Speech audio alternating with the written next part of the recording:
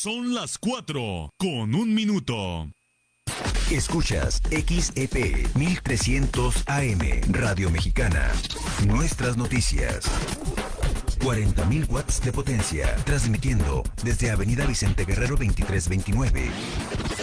Colonia Partido Romero, Ciudad Juárez, Chihuahua, Radio Mexicana. Nuestras noticias. Una estación de Radiorama. Radio Mexicana, Nuestras noticias, presenta.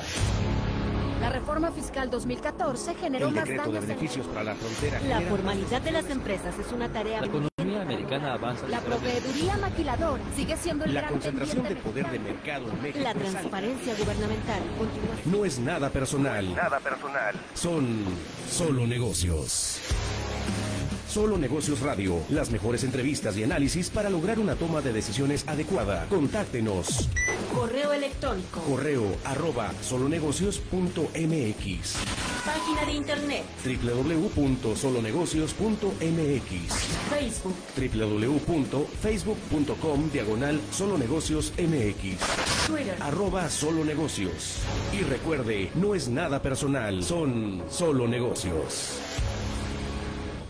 ¿Qué tal? Buenas tardes, ¿cómo están? Ya estamos aquí de nuevo, después de dos semanas de, de ausencia virtual. Hoy lunes 29 de agosto, último, último lunes del mes de, de agosto de este año 2022.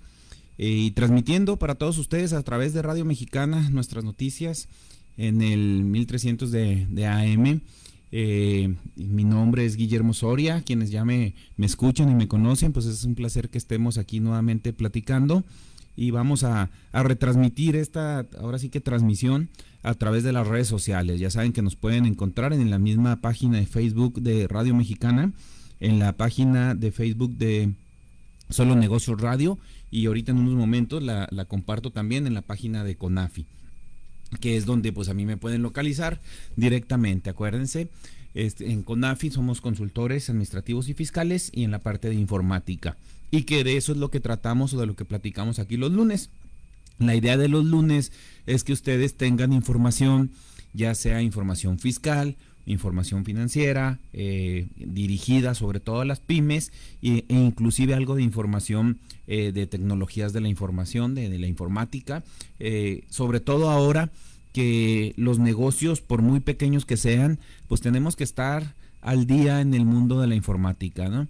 Eh, nosotros como CONAFI pertenecemos a, a NADIC, que es la Asociación Nacional de Distribuidores de Informática y Comunicaciones, y lo que buscamos a, a través de esta asociación a la que pertenecemos es buscar y estar al tanto y al día en, en sistemas, sobre todo, que podamos compartir y que ya sean éxito en algunos otros lugares para las pymes. Es decir, buscamos que algún, algún sistema para restaurantes, algún sistema para hoteles o para, eh, no sé, alguna tienda en específico y lo podamos traer. Y eso nos da las herramientas para poder platicar con ustedes de lo que nosotros vemos en el día a día que hace que batallen los empresarios. Entonces a mí lo que me gusta es que los ejemplos que yo aquí les pongo, trato que sean eh, el 100% de cuestiones reales, ¿no? De lo que me sucedió hoy en la mañana, la semana pasada, lo que vi con un cliente, lo que vi con algún este, alguna empresa, alguna autoridad que esté aplicando en, en, con nuestros clientes. Y ahora sí que un poquito vamos a hacerle al, al chismoso, vengo y les platico, oye, fíjense que ahorita el SAT está haciendo esto, eh, ya lo vi, lo está haciendo con algunos clientes o con algunos este, conocidos del ramo, entonces hay que cuidarnos de eso para que no nos suceda. ¿Sí? Es difícil, al final de cuentas, si nosotros nos metemos a, leer lo que dicen las leyes, pues ahí viene todo lo que puede hacer y que el SAT y lo que no puede hacer, por. Si no viene es que no lo puede hacer, ¿verdad? Pero también viene todo lo que no podemos hacer nosotros o cómo debemos de hacer las, las, cosas nosotros los empresarios. Entonces, ¿qué es lo que buscamos? Bueno, pues la ley está tan compleja. En días pasados hubo una eh, segunda resolución miscelánea. ¿Qué es la resolución miscelánea? Es un documento en donde el SAT expide reglas para, ahora sí, para que podamos interpretar las leyes. Dice, ah, la ley dice esto y eso quiere decir que lo vamos a hacer de esta manera. Entonces las misceláneas esas resoluciones misceláneas a veces nos explican lo que creíamos entender o lo que dejaron con dudas en una ley. Eh, ahorita puedo ver algunos ejemplos más adelante, pero por ejemplo podría ser, ¿sabes que La factura global, ah, en la resolución miscelánea ya te dice quién puede hacer una factura global y cómo la puede hacer. Porque a veces en la misma, en el mismo texto de la ley es muy complicado entender, ahora sí, lo que quiso decir. Como dicen por ahí, lo que dice y lo que quiso decir. Entonces en la resolución miscelánea, pues a veces nos, nos hacen un poquito esa aclaración. O cuando hay una confusión en la resolución miscelánea, pues nos aclaran sí, sí se puede o no, no se puede, o ellos sí pueden y ellos no pueden. La semana pasada una resolución miscelánea y que trae algunas cuestiones del tema que les quiero platicar ahora, que son los FDI y las facturas electrónicas. Y yo creo que ya le falta poco a este programa para que se llame los lunes de CFDI o los lunes de facturación electrónica, porque yo creo que si nos ponemos a revisar todos los programas que hemos transmitido, el tema que mayor he tratado es el del CFDI. ¿Por qué me enfoco tanto en los CFDI en nuestros, en nuestros programas? Porque al final de cuentas, eh, el SAT, la forma en que el SAT nos revisa o nos vigila o, tiene acceso a nuestra información sin que nosotros se la demos, o que creemos que no se la estamos dando, o más bien sin que nos la pida directamente en una auditoría, es a través de los FDI. Entonces, en los FDI nacen muchas obligaciones. Eh, legalmente podríamos decir que nacen desde antes, pero en el CFDI es donde les damos una, una forma o un periodo de vigencia, una fecha de inicio, etcétera, ¿no? Entonces, los FDI es lo que sucede, que es cuando el SAT se da cuenta de lo que estamos haciendo pero también podría darse cuenta de lo que no estamos haciendo. ¿Por qué? Porque a lo mejor algún cliente, pero sobre todo un proveedor, emitió un CFDI de algo que compramos, pero nosotros nunca declaramos esa compra. Entonces, ¿cómo se da cuenta el SAT? Pues muy sencillo, ¿eh?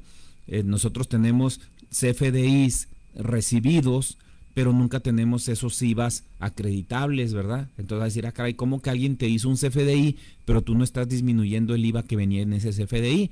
Por lo tanto, pues esto está, está medio raro, ¿no? Entonces, de eso es lo que quiero platicar un poquito, poquito con ustedes el día de hoy, porque eh, primero que nada, y lo voy a decir ahorita al principio del programa para quienes están oyendo y lo voy a repetir al final del programa, estamos a día 29. Marzo, ah, perdón, agosto, tiene 31 días entonces, quiere decir que tenemos dos días más para que se termine el mes. Y una recomendación que yo he venido haciendo todo este año, mes con mes desde enero, es no se te olvide realizar tus facturas globales. Eh, tus facturas del fin de mes o tus facturas que hayas dejado pendiente durante el mes. Y les voy a platicar por qué en este segmento. Ya después nada más les voy a volver a recordar, pero ahorita les voy a platicar otra vez por qué. Los nuevos aplicaciones o aplicativos, como les llama el SAT, o los nuevos portales, la nueva página del SAT donde uno entra para declarar sus impuestos, ya aparecen ahora precargadas las facturas que hacemos durante el mes. Eh, me llamó mucho la atención, cuando tú entras a hacer tu pago provisional, que normalmente se vence el día 17 del mes, lo abres y lo dice, un momento por favor, y empieza a cargar, estamos cargando la información estamos consultando los FDIs. Y es muy común que te sale un aviso y te dice, los FDI emitidos hasta el día 5 de, por ejemplo, de agosto. ¿Qué significa? Que si tú hiciste un CFDI después del 5 de agosto no va a aparecer precargado en la página del SAT. Y entonces eso te va a dar problemas porque tendrás que hacer un ajuste en tu pago provisional y meter ese ingreso de alguna manera para que entonces puedas declarar lo correcto. ¿Por qué? Porque a lo mejor ese CFDI no lo hiciste o no lo has hecho o lo hiciste después del día 5, a lo mejor lo hiciste el día 6, el día 7 y entonces eso va a generar una diferencia. Y esto a mí yo insisto y sigo, qué padre que está tan actualizado el SAT y que quiere que seamos una eh, potencia en cuestiones de informática tributaria.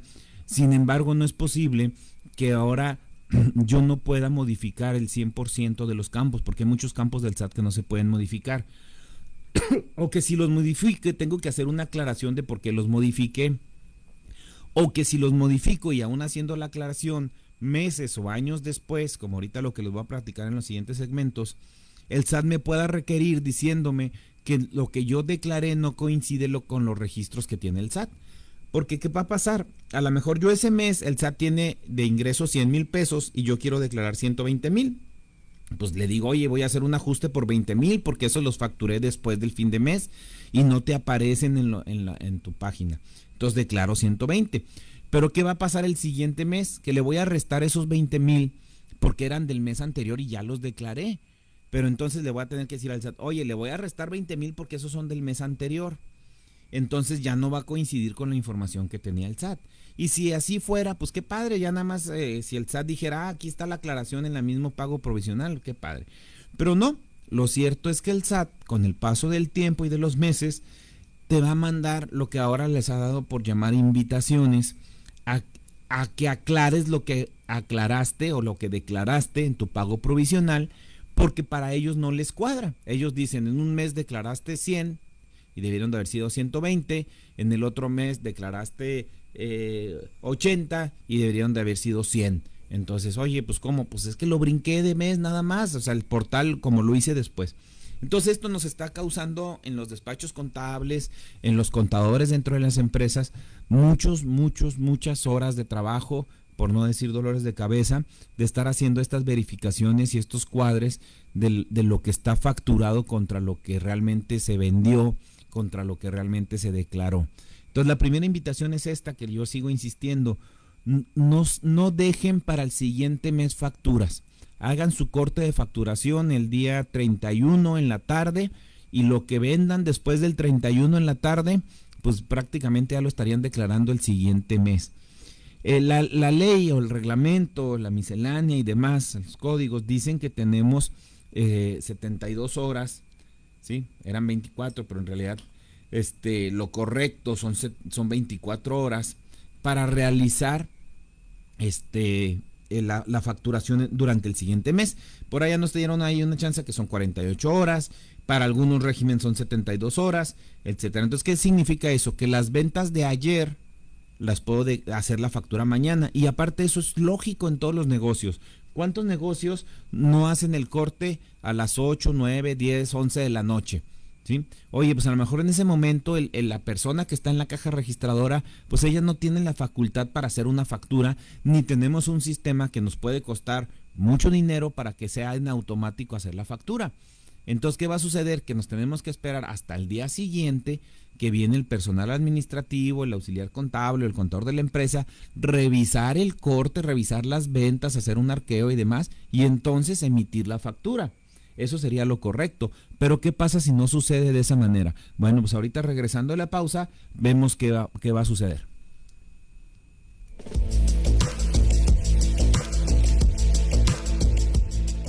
Son las 4 con 14 minutos. Habla Andrés Manuel López Obrador. No somos iguales. Durante los gobiernos neoliberales nunca hicieron una obra como esta. El aeropuerto Felipe Ángeles se construyó en dos años y medio. Nos ahorramos 100 mil millones de pesos. Es el mejor aeropuerto de América Latina. Lo hicieron los trabajadores de la construcción, los ingenieros militares y la Secretaría de la Defensa Nacional. Cuarto informe. Gobierno de México. Preservar la vida, seguridad y dignidad de las personas. Es ahora el criterio fundamental en el diseño de vías públicas. La Ley General de Movilidad y Seguridad Vial, aprobada por el Senado, dispone acciones para prevenir riesgos fatales. Establece límites de velocidad y sistemas de atención en caso de siniestro. En su caso, las víctimas y sus familiares tendrán derecho a asesoría, servicios médicos y reparación del daño. Senado de la República. Sexagésima quinta legislatura.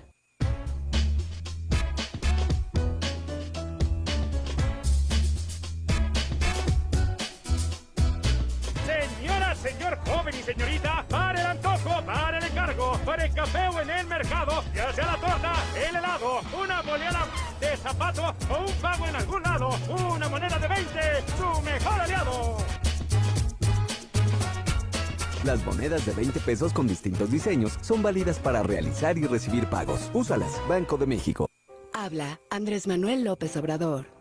No somos iguales. Durante los gobiernos neoliberales, las pensiones jugosas eran para los expresidentes, para los altos funcionarios públicos. Ahora las pensiones son para todos los adultos mayores del país, los ancianos respetables. Aquí están conmigo, porque ellos mandan en Palacio Nacional. Cuarto informe. Gobierno de México. Continuamos en Solo Negocios Radio.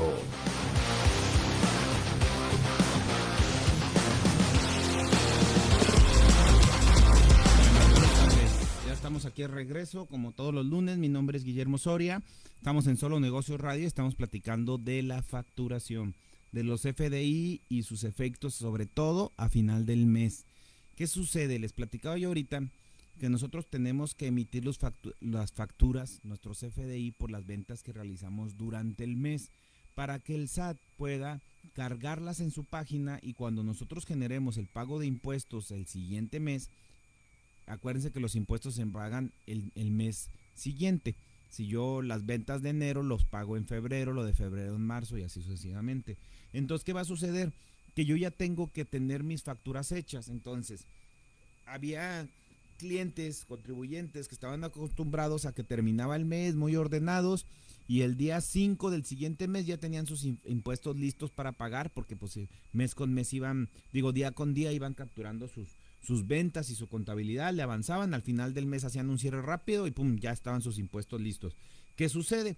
Pues ahora ya no pueden porque nos tenemos que esperar a que el SAT cargue la información en su página y nos aparezca lo que nosotros facturamos para entonces poder cotejarlo contra nuestra información contable y poder hacer el cálculo de los impuestos en la página del SAT.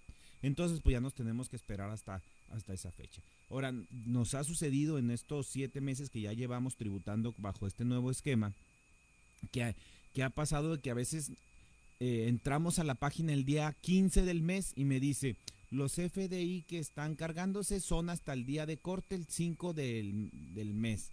Dice, ah, caray, quiere decir que si yo hice una factura el día 6, 7, 8 que correspondía al mes pasado, pues no la voy a poder visualizar ahí. Entonces eso es preocupante. También es preocupante que a veces me dice, los recibos de nómina están cargados hasta el día 28. Oye, pero yo el día 31 hice corte o timbré mi nómina el día 1, el día 2 o el día 3 pues no nos va a aparecer. Y el SAT se basa en que pues tenemos realmente 48 horas para timbrar las, los, los, CFDI, ya sean por las ventas, por las nóminas, por los cartaporte, complementos de pago, etcétera. Bueno, por los complementos de pago ya aclara que tenemos cinco días hábiles. Pero por todos ellos tenemos nada más ese, ese periodo. Entonces, ¿cuál es el problema? Pues que a veces no nos cuadra la información que tenemos con la que tiene el SAT. Y nosotros por las prisas, porque ya queremos hacer el pago, porque nos vamos a ir de vacaciones, porque me lo están pidiendo para programarlo en finanzas y poder tener los recursos el día 17, pues nos apuramos y lo hacemos con lo que ahí dice, ¿no? Entonces ese es un problema que yo veo muy grande.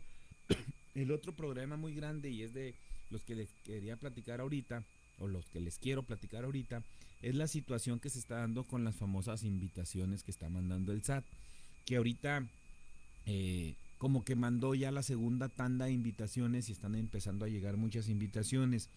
Platicando yo con, con alguien el día de hoy, que es una empresa muy cumplida, que en realidad este, paga sus impuestos bien, en tiempo, en forma, ellos no, no escatiman en decir, este, sufren como todos cuando tenemos que pagar impuestos, pero dicen, pues es lo que es y ni modo este, pues le llegó una invitación y les decía yo, no nos asustemos, al final de cuentas son aclaraciones y la mayoría de las aclaraciones se, se, se derivan de lo que les estoy platicando ahorita, de la fecha en que se realizó la factura, de la forma en que se realizó la factura, que ahí va el otro tip del día de ahora. Es, tengan mucho, mucho cuidado. La mayoría de las diferencias que se están generando en el SAT se están haciendo porque la factura que emitieron la emitieron como pago de contado o lo que viene para el SAT es pago en una exhibición, en una sola exhibición, PUE, pago en una exhibición. ¿Qué significa una factura con método de pago PUE? Pues significa que esa factura ya la pagaron o ya la cobraron, porque al final de cuentas el que la emite es el que la cobra, ¿no? Entonces, si yo hago una factura y ya me pagaron, ya tengo el dinero, ya me puedo gastar ese dinero, entonces la hago PUE. Si tengo una promesa de pago, si me dijeron mañana te la pago, ahorita vengo y te pago, déjame ir por la tarjeta de crédito al carro, mándamela para podértela pagar, lo que ustedes quieran, por favor, ahora sí que casi, casi casi se los suplico, no la hagan con PUE, háganla con pago en parcialidades o diferido. ¿Qué significa pago en parcialidades o diferido? Parcialidades es en pagos, es decir, te la voy a dar, te la voy a pagar el monto de esta factura, te lo voy a hacer en varios pagos. ¿Sí? O diferido quiere decir que es una fecha diferente o un momento diferente al que me estás emitiendo la factura. Me ha pasado obviamente que en la mañana se emite una factura y me la pagan en la tarde. Bueno, pues sí está diferido porque no está pagada en el momento en que yo la emití. Eh, entonces, aunque el cliente te diga, por favor, mándamela como PUE este, para podértelo pagar, discúlpame, la regla dice que si no me has pagado, te la pago como pago en parcialidades y en cuanto yo reciba el pago, lo confirme que ya está eh, en firme, que ya puedo disponer de él en mi banco, entonces yo te emito una, un complemento de pago donde dice que me pagaste con fecha de hoy y no tenemos ningún problema nadie. ¿Es más trabajo? Pues sí, se duplica el trabajo porque ahora en lugar de hacer una factura tengo que hacer como quien dice dos. Una donde desgloso lo que le vendí y otra donde le digo cómo me lo pagaste. Ah, me lo pagó con un cheque, con una transferencia, con una tarjeta de crédito, en tal fecha y si es en dólares, pues a tal tipo de cambio. Que esa es otra cosa bien importante. Me ha tocado todavía a estas alturas ver pagos de, de, o emisión de facturas en dólares que traen el tipo de cambio 1, es decir, que no cambiaron el tipo de cambio y le dejaron, pues por referencia viene la unidad, ¿verdad? Tipo de cambio 1, pero entonces, ¿qué significa? Que esa factura, al convertirla en pesos, se multiplica por uno. Y si eran mil dólares, pues va, esa factura para efectos fiscales va a valer mil pesos en lugar de 20 mil pesos o 21 mil, 22 mil pesos. ¿Estamos de acuerdo? Entonces imagínense una factura de un equipo, de un gasto de varios miles de dólares y que la hayan hecho mal y que le hayan dejado el tipo de cambio uno, pues le van a poner un, un buen problema a la empresa porque entonces tienen que cancelar esa factura y emitir una nueva factura y todo esto, insisto, nos puede crear confusiones o nos puede generar diferencias aparentes en la información que tiene el SAT que tarde o temprano nos va a pedir que se las aclaremos. Y eso está sucediendo ahorita. Ahorita el SAT revisa los FDI del mes de enero contra lo que pagamos en enero. No coincide, hazle una diferencia una invitación. Febrero, a ver, aquí dice mil, pago 900, sobre 900, no coincide. Oye, pero espérate, es que esta factura la cancelé este mes, pero la refacturé tres meses después, haciendo referencia a la misma fecha, no coincide. O en el mes nuevo, no, oye, aquí en facturas hay 21 mil, pero dice 20 mil lo que pagaste. Oye, es que estos mil corresponden a la de enero que cancelé. No coincide, hazle una diferencia. Así está trabajando ahorita el SAT. ¿Qué sucede? Bueno, pues de lo perdido lo que aparezca. Eh, muchas veces lo que está sucediendo es que hay gente que al momento, que a lo mejor trae algún error o algún pecado por ahí cometido, en el momento en que le llega la invitación dice, no quiero que averigüe más, págala o paga lo que debo y este y me quito de broncas. Entonces, ¿qué ha sucedido? Pues que el SAT financieramente pues le conviene mandarle invitaciones a todo mundo en base a lo que tienen los FDI sin meterse tanto a relacionar, a decir, eso no lo dejan a nosotros. Lo peor pues es que tenemos de entrada 10 días hábiles, que no se asusten porque no es un plazo fatal. Es decir, yo puedo a los 10 días decirle al SAT, SAT, oye, pues estoy trabajando en armar toda la información que me pediste, porque aparte no te piden de un mes o de un año, te piden de los 4 o 5 años últimos. Entonces, ¿qué va a pasar? Oye, pues prácticamente me estás pidiendo que me haga una autoauditoría, ¿sí?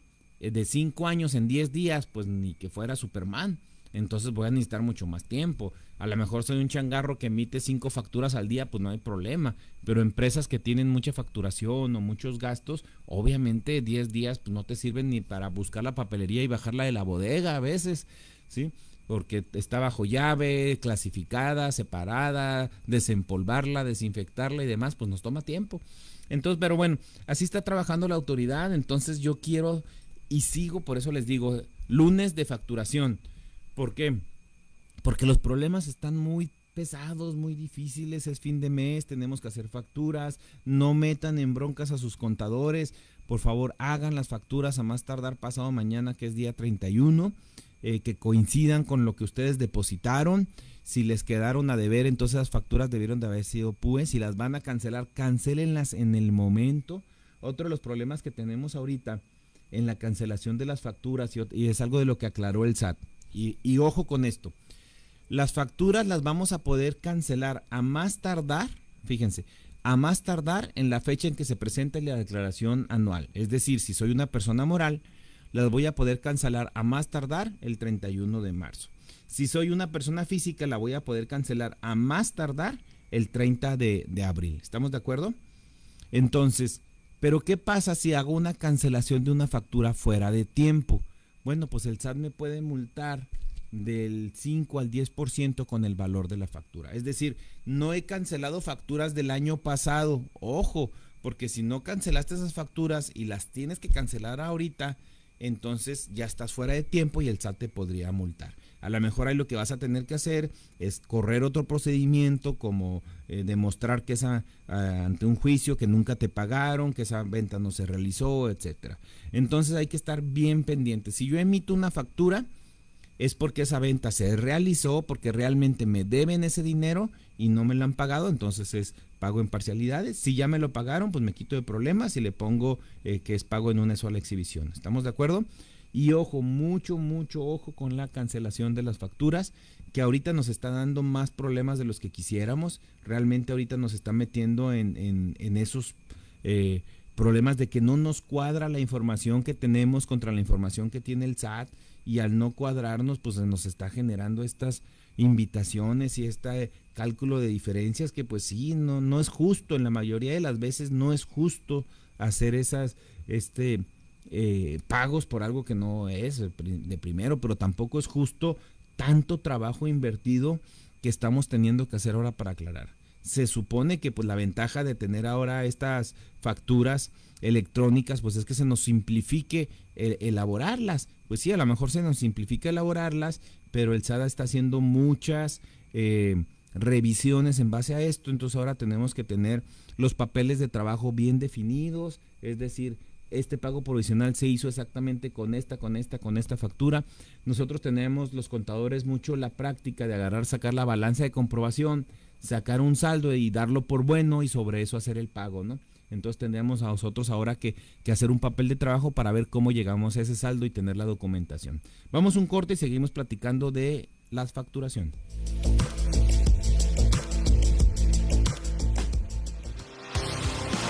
Regresamos, no se vaya. Continúe en Radio Mexicana 1300 AM con Solo Negocios Radio.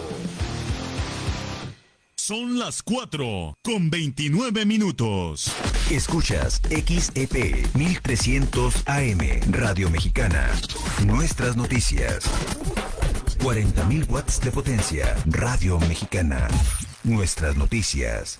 Una estación de Radiorama. ¿Ya viste a Marta? Ha cambiado mucho, ¿no? Se la pasa sola en su oficina, ya no se arregla como antes. Pues allá ella, ni quien le ruega. No te aísles, pide ayuda. La depresión y la ansiedad son trastornos mentales que pueden afectar el entorno de quien lo padece. No te aísles, pide ayuda. Comunícate ahora al 656-559313. Tu vida nos importa. Gobierno Municipal, Refugio de la Libertad, Custodia de la República. ¿Qué pasaría si perdieras tu INE? Perdería el derecho al voto. No existiría mi identidad. Perdería el derecho a la democracia. No podría hacer valer mi opinión. Sin mi INE no podría hacer nada porque me la piden en todos lados para todos los trámites. Si perdiste tu credencial o perdió vigencia, acude al módulo y actualízala. Haz tu cita en INET 804-33-2000 o en INE.mx. Mi INE es valioso porque me identifica y nos une. INE.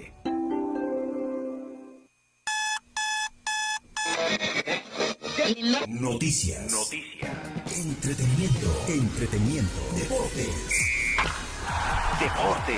Salud. Salud. Cine. Espectáculos. Análisis político y deportivo.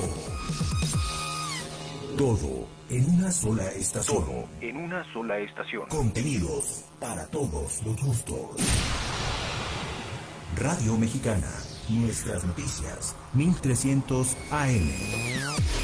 La radio hablada. Número uno en la frontera. Continuamos en Solo Negocios Radio. Pues bueno, ya estamos de regreso, ya a la mitad del programa de este lunes 29 de agosto. Mi nombre es Guillermo Soria. Estamos transmitiendo como cada lunes desde las, eh, la estación, desde las, el eh, cubículo, ¿verdad? De Radio Mexicana, aquí en sus en su torre de transmisiones. Eh, y pues estamos platicando de la facturación electrónica. Yo sé que es un tema muy difícil. eh, no todos este, me escuchan, no todos dicen, ah, pues eso como que a mí qué. Pero pues bueno, a mí que yo creo que tarde o temprano todos o vamos a tener que emitir una factura o nos van a emitir una factura. Tan es así que los asalariados, sin darse cuenta, emiten facturas electrónicas, emiten CFDI. Sin embargo, como es difícil que el asalariado lo haga, la autoridad le dijo a los patrones, ¿sabes que tu patrón, tú vas a emitir en nombre del asalariado el CFDI de su nómina? Entonces todos ustedes, todos, todos los que reciben o recibimos un pago vía nómina, debemos de tener la obligación de guardar esos recibos electrónicos de nómina, esos FDI de nómina timbrados. Entonces, recomendación, si yo no tengo acceso, ya casi todo el mundo tenemos acceso a un teléfono inteligente, ya sabemos jóvenes de 35 años, 40 años para abajo, esos jovenazos, este, pues van a tener acceso a todo esto. Pero tenemos adultos y adultos mayores que todavía están trabajando y que a veces no tienen acceso a un correo electrónico o, lo, o les generaron un correo electrónico en el trabajo, pero pues no han tenido la precaución de nunca entrar a él y ahora casi toda la comunicación que hace el SAT y que hace el Infonavit y que hace el Seguro Social y demás, pues es a través de correo electrónico. Entonces es importante que todos hablen con alguien, algún familiar, algún, ahora sí que a quien más confianza le tengas y le pidas que esté revisando tu correo electrónico y que a lo mejor en una memoria USB de esos que cuestan ya 50, 80 pesos, ahí vayan guardando todos los FDI de su nómina. Agarren una memoria o dos y la pueden estar copiando, ¿verdad? Y ahí vayan guardando y vayan teniendo copias de tanto los FDI de la nómina que ustedes les hacen, que ustedes reciben, como de algunos su constancia de situación fiscal, su alta del seguro social, su baja del seguro social, este algún aviso del, del Infonavit, que guarden esa documentación. Hace poco me tocó ver ahí una persona cercana que estuvo, está tramitando su pensión para el seguro social y obviamente pues desde hace 40 años pues tuvo que buscar en las empresas donde trabajó que tuvieran o que le dieran una constancia de que estuvo laborando en qué periodos y con qué sueldo para entregársela al, seguro social. Afortunadamente pues trabajó con empresas eh, muy grandes eh, allá en la Ciudad de México a nivel nacional y sí existe un departamento de recursos humanos que tenía esa información y se la dieron para acercársela al Seguro Social. Sin embargo, los nuevos, los que estamos ahorita, los jóvenes que estamos trabajando ahorita, pues nos van a estar, reci- vamos a estar recibiendo ese CFDI de la nómina. Entonces, cuando nos queramos jubilar allá en 15, 20, 30 años más, pues muy seguramente va a haber alguna dependencia que diga, y no encuentro tu información, compruébame que trabajaste para ese patrón, ya ven cómo se las gastan, ¿verdad? O va a decir esa dependencia, pues es que nada más tengo información de los últimos 10 años, ya saben cómo se las gastan. Entonces ustedes van a tener que guardar, sacar esos FDI que tienen de todas las nóminas que les pagaron durante estos periodos y decirle, no, mira, aquí están CFDI de uno por uno de todo el tiempo que me estuvieron pagando, por lo menos desde que existen los FDI. Entonces, créame, una recomendación es, primero tenemos que saber qué es un CFDI, que sabemos que es un comprobante fiscal digital por internet. Este, esos llevan una clave, un sello que se llama UUID, que es este Unique Identification, este universal, eh, una identificación única universal, que es un número eh, muy largo que van a ver ahí, lo va seguido de una cadena, que es la que en esa cadena, si la leemos, vamos a encontrar la información del CFDI, ¿sí? Si la traducimos de alguna manera, y aparte pues es un sello digital que le da, le da validez para que entonces se pueda cotejar esa información con los, en los servidores del SAT y digan, ah, sí es cierto, este CFDI corresponde a eso. Es decir, no llegó alguien con un PDF y lo inventó, lo escribió y lo puso muy bonito, dijo, aquí está tu recibo. No, ese va a tener una validez fiscal. Entonces, lo importante de esto es que todos tenemos que tener y conocer un CFDI. Ya ahorita no importa si tienes un negocio, si eres un asalariado, eh, si estás pensionado, porque inclusive por las pensiones hay CFDI, y esas van a ser las constancias de lo que tú recibiste. Si tú tienes un negocio, pues más.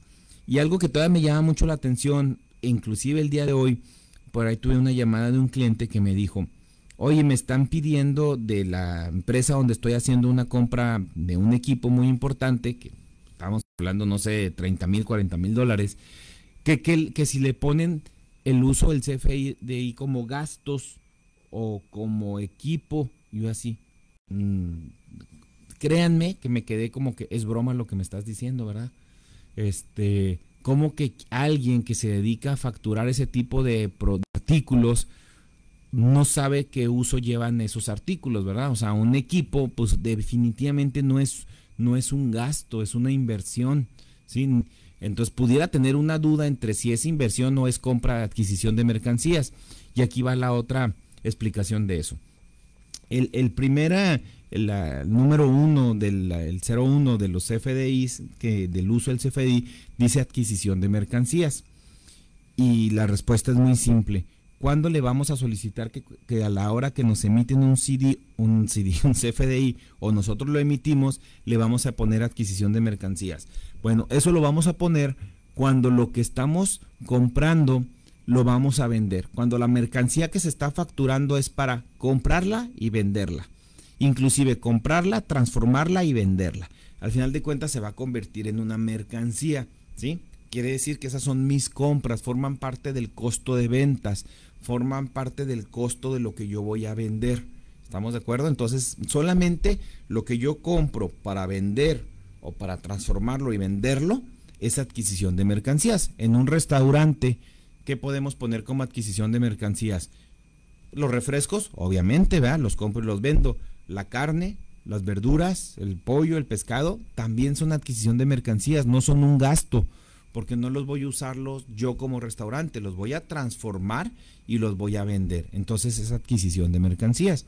¿Qué es, qué es, cuál es el segundo más común? Los gastos, ¿sí? Los gastos de operación o los gastos o, gastos que lo que compramos como un gasto. Entonces, ¿eso cuáles son? Esos vendrían siendo lo que compro para usarlos dentro de mi proceso de trabajo. ¿Sí? Por ejemplo, lo que pago de luz no es una yo no vendo luz, yo la uso para aprender que prendan las máquinas y con ellas poder trabajar. Lo que compro de artículos de limpieza para trapear, para limpiar, para desinfectar ahora, pues son gastos. Inclusive la nómina que no está metida en el proceso de transformación, pues son gastos, ¿verdad? Este, el contador, el teléfono, el internet, la seguridad, etcétera, etcétera. Todo lo que no voy a vender como tal son gastos. ¿Estamos de acuerdo? Entonces, ¿qué uso le voy a dar al CFDI? Pues es un gasto de operación, ¿verdad? Y luego ya vienen lo que son las inversiones. Esos empiezan con la letra I, I01, I02, que cuáles son las inversiones, por ejemplo, equipo de transporte. Entonces, eh, todo lo que compre que vaya a hacer para transportar personas o para transportar cosas, pues son equipo de transporte, ¿estamos de acuerdo? Y luego vienen inversiones este, en equipo de cómputo, por ejemplo. Esas, esas las inversiones están muy fáciles porque cuando uno ve los, los, los nombres, luego lo identifica, ¿no? En, equipo de cómputo, pues no tiene pierde. Inversiones en maquinaria, en herramientales, en cosas así, pues tampoco tiene pierde. Construcciones, pues tampoco tiene pierde, ¿verdad? Ahora, ojo con las construcciones, porque se clasifican como construcciones y mejoras. Construcciones y mejoras. Quiere decir que todo lo que para empezar, una construcción es aquello que va pegado al piso y que en su proceso se transformó ya no se puede volver a separar. Como que, por ejemplo, el cemento. Si yo compro cemento, lo transformo y ya se hace una piedra, ya no vuelve a ser cemento como tal. Y aparte, pues va pegado, ¿no? O sea, no, no lo puedo quitar y llevármelo. Entonces, las construcciones es todo aquello que yo voy a poner y que no lo voy a mover, ¿no? Que me lo voy a, lo voy a transformar. ¿sí? El equipo es algo que yo por lo general son los bienes muebles, es decir, los puedo mover, este, me los puedo llevar a otro lado si no los utilizo, si es maquinaria, la pongo aquí pero me la llevo, eso no es una construcción, un aire acondicionado no es una construcción, ¿estamos de acuerdo? Entonces, y luego hay cosas, por a veces me dicen, oye, es que voy a cambiar el piso de la oficina, bueno, pues es una mejora, porque estamos, estamos remodelando, no estoy dándole más valor, no estoy agregándole, no, no le estoy dando ahí. Ahí hay una línea en donde, bueno, ¿sabes qué? Pero es que esa mejora sí te va a aumentar la plusvalía, entonces tienes que ahí, según los boletines, generar una nueva, un nuevo valor a tu activo fijo, etcétera, ¿no? pero por lo general lo que compramos, lo que hacemos de reparaciones, pues son gastos, ¿no? Lo que no le cambia el valor a la propiedad, lo que nada más sustituye una cosa por otra, se rompió una taza del baño, puse una taza nueva, pues no es construcción, es una reparación que estoy haciendo. Entonces hay que estar muy pendientes de ese tipo de, tipo de cosas para poder cuando nos piden una factura o cuando hacemos una factura y nos preguntan cuál es el uso que le vamos a dar, pues lo más fácil es compras, si es algo que voy a que compré para vender o transformarlo para venderlo, gastos, si es algo que voy a utilizar y aquí yo le agregaría, lo voy a utilizar durante el ejercicio. Sí, o sea, no me va a durar más de un ejercicio. Yo compré ahorita a lo mejor un galón o una, una, un tambo de pinol. Bueno, pues me lo voy a acabar. No me va a durar dos años, ni tres años, ni cuatro años. Me lo voy a acabar. Entonces es un gasto. Pero si yo compro algo que me va a durar mucho tiempo, como una computadora, como un vehículo, una máquina, un torno, un CNC, cualquier cosa en ese tipo, ah, bueno, pues eso se va a una inversión y la clasificaremos según el tipo de inversión. ¿Por qué nos pide el SAT que la clasifiquemos según el tipo de inversión? Bueno, pues porque se deprecian a diferentes tasas de inversión. Una computadora se deprecia al 30% y un equipo de oficina, una máquina de escribir, un escritorio, se deprecian al 10%. Entonces, pues la diferencia es bastante. Vamos a una pausa y luego ahorita hacemos un resumen de lo que hemos platicado.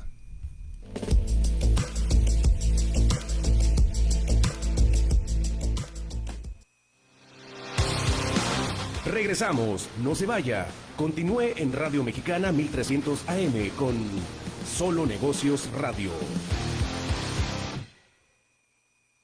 Son las 4 con 43 minutos. ¿Ya viste a Marta? Ha cambiado mucho, ¿no? Se la pasa sola en su oficina, ya no se arregla como antes. Pues allá ella, ni quien le ruega. No te aísles, pide ayuda. La depresión y la ansiedad son trastornos mentales que pueden afectar el entorno de quien lo padece. No te aísles, pide ayuda. Comunícate ahora al 656-559313. Tu vida nos importa. Gobierno Municipal, Refugio de la Libertad, Custodia de la República. ¿Qué? ¿Navidad? En Juárez se adelantó la Navidad.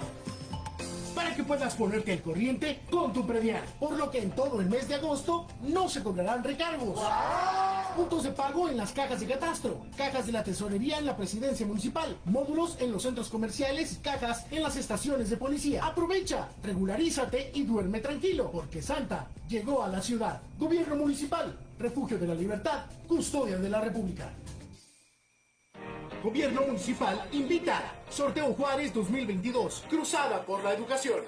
Participa y llévate a casa un coche último modelo. Los boletos tienen valor de 100 pesos y los puedes encontrar en todas las cajas de tesorería en la presidencia municipal y en los módulos en centros comerciales. El ganador será elegido el 16 de septiembre. Lo recabado será para mejorar las escuelas y la educación en Ciudad Juárez. Sorteo Juárez 2022. Cruzada por la educación. Gobierno municipal, refugio de la libertad, custodia de la República.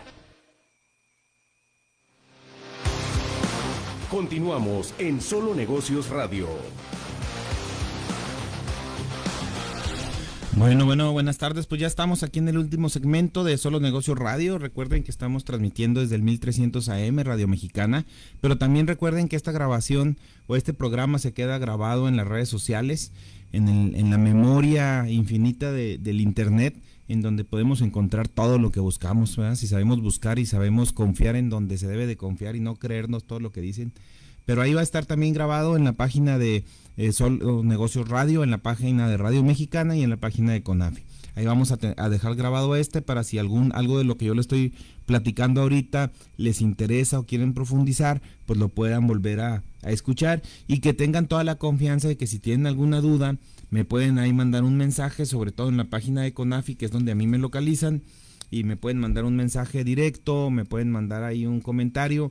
Eh, si es algún tema que ustedes quisieran que platiquemos en los próximos programas, alguna duda que tengan, algún tipo de régimen fiscal, algún tipo de gasto, algún tipo de operación, pues con toda, con toda confianza. La, el último programa que estuvimos aquí, me estuvo aquí eh, acompañando Georgina de la agencia aduanal, en donde fue muy interesante y después surgieron ahí con algunos clientes y con algunas cosas, eh, algunos este, radioescuchas, algunas dudas. Y hablábamos de los pedimentos, ¿verdad? De la facturación en los pedimentos, de que la legal, que una cosa es que sea legal y otra cosa es que sea deducible. Y, luego platicando también con otros clientes, eh, el error común que se comete de querer subvaluar la mercancía cuando se importa. La mayoría de la mercancía si proviene de Estados Unidos, sobre todo de países donde tenemos un tratado de comercial como Estados Unidos y Canadá, el, no van a pagar prácticamente nada de impuesto, la mayoría están al 0% de impuesto. Lo único que se paga cuando se importa pues es el IVA.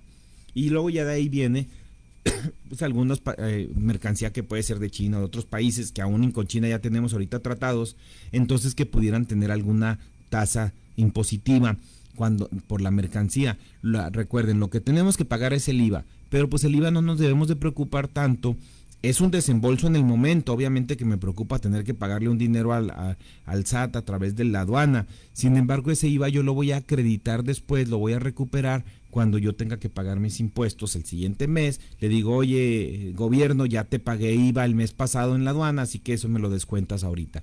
Entonces no nos asustemos, tratemos siempre de importar lo que compramos en, en el extranjero créanme que nos va a quitar problemas. Y no, y no algo que no les recomiendo, que es la subvaluación de la mercancía.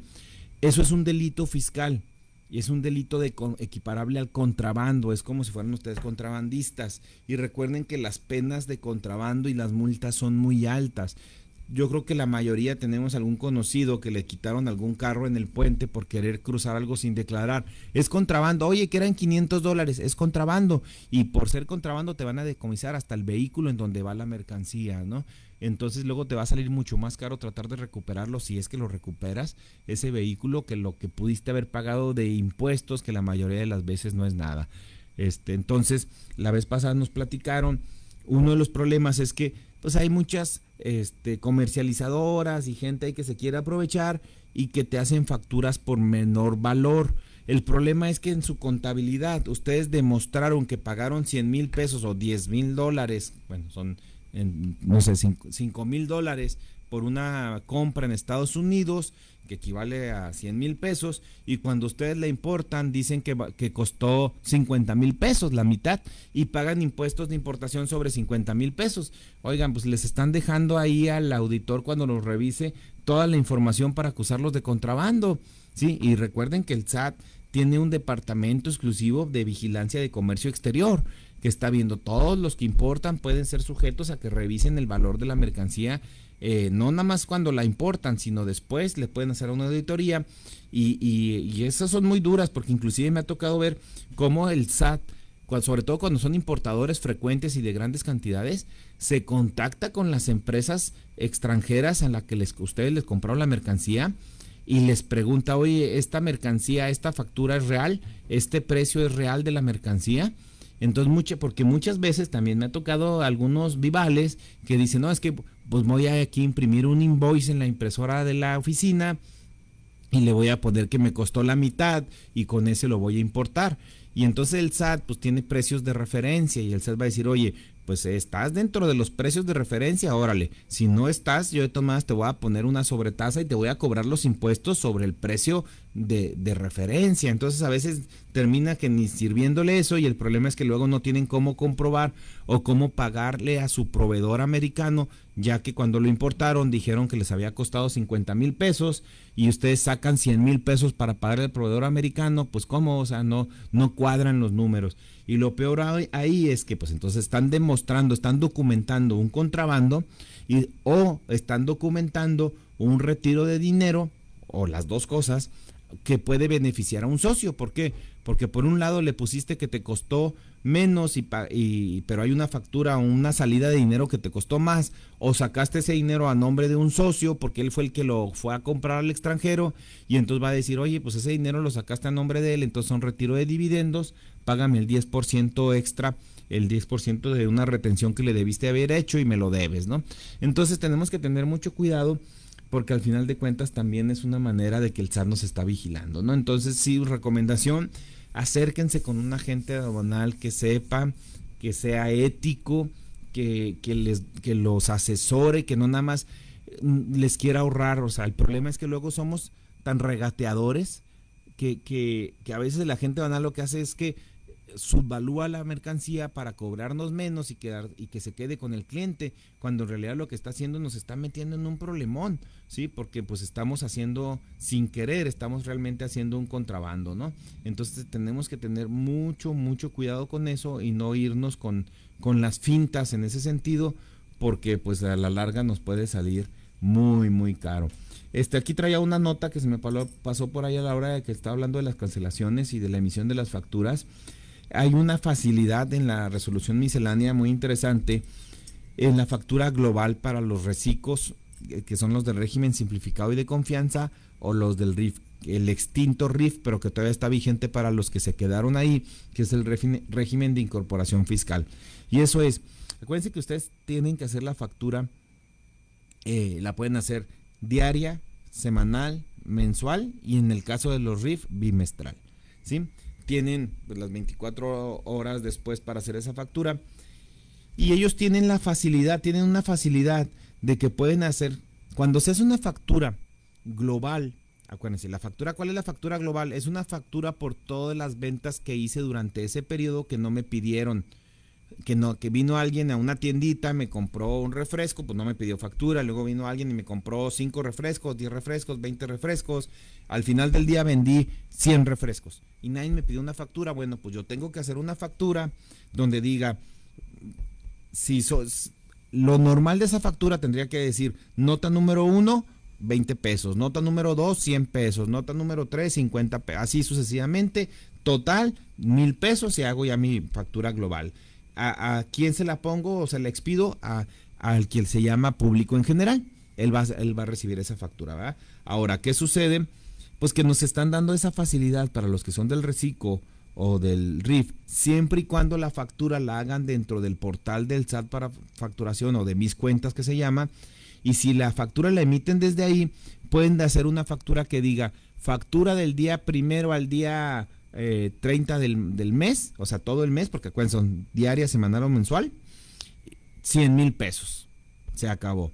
Los que son reciclo, nada más van a poner 100 mil pesos, el total incluyendo el IVA, pero si eres, perdón, los que son RIF, los que son el régimen anterior, pero si eres del nuevo régimen de reciclo, a esos 100 mil pesos tendrás que desglosarle lo que es el, el IVA y en el caso de que venda cerveza, chocolates, cosas, panes o cosas que lleven IEPS, pues tendrás que pues desglosar por ahí el, el IEPS porque pues tienes que pagar ese, ese IEPS, ¿verdad? Entonces hay que tener mucho cuidado porque esas facturas mucha gente no la está haciendo. Muchos no tienen un contador ahorita, nadie les dijo, no se han acercado al SAT, no están haciendo sus pagos de impuestos, entonces no están haciendo esa factura y eso les va a causar muchos dolores de cabeza cuando se quieran poner al corriente porque el sistema ya no te deja hacer facturas por periodos anteriores que eso yo creo que el SAT tiene que buscar la manera de cómo compensar o cómo arreglar esto, porque pues un, yo creo que un porcentaje muy grande, más del 20, 30% este, de los contribuyentes no están al corriente, esa es una realidad, y por desconocimiento, porque se enfermaron, porque lo que ustedes quieran. Entonces, eh, pero en algún momento pues se quieren poner al corriente y cuando se quieren poner al corriente pues ya no pueden, porque ahora resulta que no puedo hacer la factura. Entonces, este, pues ahí va a ser va a ser un problema muy interesante eso, ¿no? Así que hay que ponernos al, corriente, hay que tomar nuestras precauciones. Quien esté, la persona que esté encargada de hacer las facturas en su empresa, en su negocio, eh, capacítese, tenga a la vista algunos medios de información como la misma página del SAT, este, eh, hay portales, hay grupos donde puede uno estar preguntando y, y que lo estén actualizando eh, ya no se puede que agarrar ahí a cualquier hijo o hija de vecina, como decíamos antes, y que esa persona sea la que haga las facturas como Dios le dé a entender. Antes, pues nada más agarrabas tu computadora, tu máquina de escribir, llenabas los campos, nombre, pues ahí está, eh, dirección, ahí está, y le ponías el concepto que te daban ahí y estaba bien, ahora ya no. Cuéntense que la factura lleva una clave especial por la mercancía, una unidad de medida especial, las tasas de IVA desglosadas, relacionados los documentos, etc. Entonces, lo más difícil ahora que le toca no al contador, sino al empresario, es el CFDI. Por eso es que cada vez vuelvo a hablar del programa porque me voy, pasa una, dos, tres semanas y empiezo a ver con mis clientes, con, los este, que nos compra los sistemas, que están haciendo mal las facturas que están, eh, ¿por qué? Porque la persona no sabe, porque se les olvidó, porque así se las pidieron, porque se les hizo fácil, porque no quisieron batallar y están haciendo malas facturas. Entonces recuerden que ahora estar cancelando facturas mal hechas nos puede llevar a multas de hasta el 10% del valor de la factura. Fíjense qué absurdo, pero pues bueno, o sea, ¿cómo te voy a pagar una multa por algo que pues ni siquiera existió porque es una factura que cancelé, porque no lo cobré, entonces me vas a hacer que te pague algo por algo que no recibí. No sé, ahí nuestros amigos fiscalistas en unos años qué tan defendible va a ser esto. A mí se me hace lo más absurdo de lo absurdo, pero puede, puede llegar a suceder. Entonces hay que estar muy pendiente con esto, hay que estar muy pendiente con, con la emisión de las facturas, con la recepción de las facturas. Si tú eh, durante el mes recibiste facturas que estaban en parcialidades y las pagaste durante el mes o les diste un abono durante el mes, recuérdale a tu proveedor que te mande el complemento de pago con la fecha correcta en que la pagaste, que diga la fecha en que realizaste el pago. Recuérdase lo que no debe de pasar de los cinco días del mes. Si se puede que sea durante el mes, es decir, mañana y pasado nos queda, hiciste un pago el viernes y no te han mandado el complemento, agarra ahorita el teléfono y háblale o mándale un correo electrónico, dile, oye, no se te olvide mandarme mi complemento de pago que te realicé el viernes, porque nos metemos en unas broncas, como les digo cada, cada vez, por no estar haciendo esto. Entonces, pues cualquier cosa, cualquier duda que tengan, eh, por favor, este, me encuentran aquí en Solo Negocios Radio, me encuentran en la página de Conafi, tenemos un equipo de trabajo. Por cierto, da un gol, estoy buscando, ahorita estoy contratando un contador fiscalista, alguien que tenga experiencia ya en el pago de impuestos y en eh, declaraciones informativas, atención de estas invitaciones, devoluciones de IVA y demás. Estamos buscando ahí una, un colaborador, alguien que se una a nuestro equipo de trabajo. Me pueden mandar su información a mi correo, lixoria.conafi.com o a través de la página. Con esto me despido el día de hoy.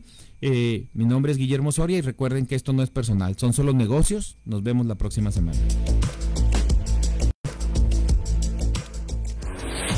Agradecemos su atención. Nos escuchamos de lunes a viernes de 4 a 5 pm a través de Radio Mexicana 1300 AM. Contáctenos. Correo electrónico. Correo arroba solonegocios.mx. Página de internet